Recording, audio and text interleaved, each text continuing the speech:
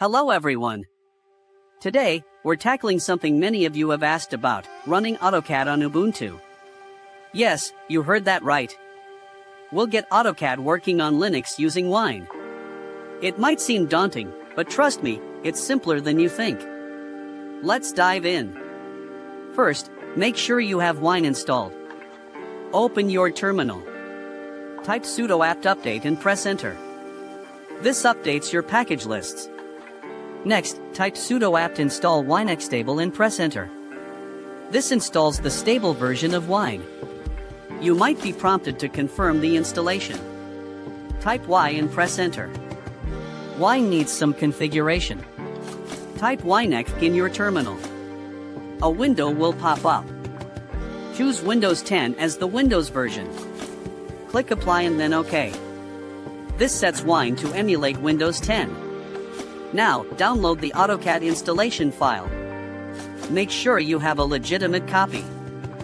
Save it to your Downloads folder. Open your terminal again. Navigate to your Downloads folder using the cd downloads command. Once in the Downloads folder, run the AutoCAD installer with Wine.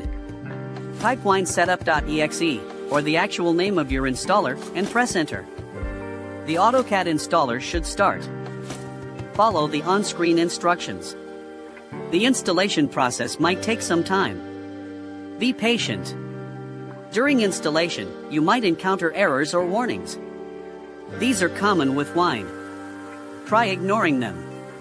If the installation fails completely, search online for solutions specific to your AutoCAD version in Wine. After the installation, you might not find AutoCAD in your application menu. That's okay. Open your terminal. Navigate to the directory where AutoCAD was installed. This is usually under forward slash dot wine slash drive underscore c slash program files autodesk slash AutoCAD version. Use the cd command to navigate to the correct directory. Find the AutoCAD executable file, ACADEXE or similar. Type wine ACADEXE or the correct executable name and press enter. AutoCAD should now launch you can create a desktop shortcut for easier access. Right-click on the desktop. Choose Create Launcher. Give the shortcut a name, e.g., AutoCAD. In the command field, enter wine slash path slash to slash academic exe. Replace slash path slash to slash academic exe with the actual path to the AutoCAD executable. Click Create. Now you have a desktop shortcut. Remember, performance might not be as smooth as on Windows. Wine is an emulator, not a native solution. Experiment with Wine settings to optimize performance. Try different Windows versions in Winex. Also, consider using PlayOnLinux, a Wine helper tool. It simplifies the installation process for many Windows applications.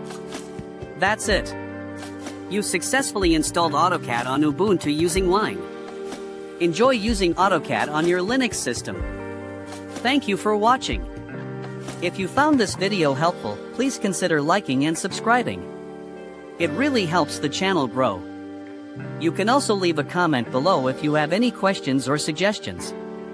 And if you're feeling extra generous, you can support the channel through Patreon or by buying me a coffee.